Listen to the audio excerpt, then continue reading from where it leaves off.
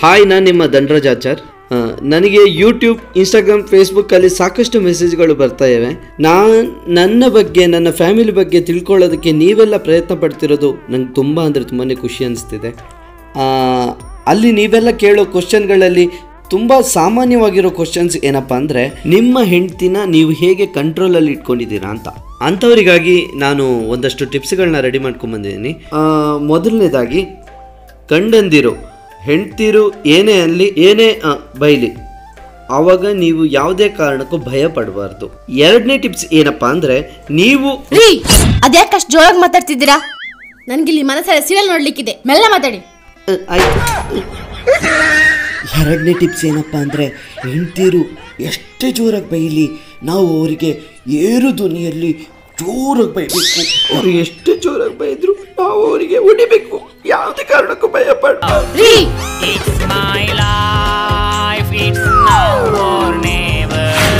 ಕೆಲವರು ನನ್ನ ಕಟ್ ಮಾಡಿ.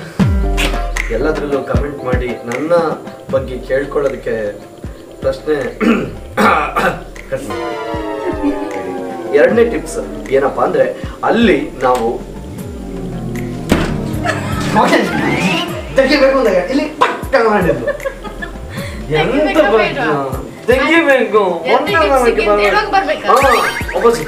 ಬಾ. ಅಂತಂದ್ರೆ ನಾವು ಯಾವುದೇ ಕಾರಣಕ್ಕೂ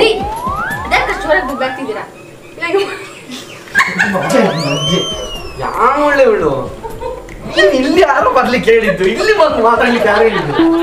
ಇಷ್ಟೇ. ಇಷ್ಟೇ. ಎರಡನೇ ಟಿಪ್ಸ್ ಯಾಕೆ ಜೋರಾಗಿ ಮಾತಾಡ್ತಿದ್ದೀರಾ? ಯಾಕೆ? ಯಾಕೆ? ಯಾಕೆ? ಸರಿ ಬರ್ಲಿಲ್ಲ ಅಲ್ಲಿ.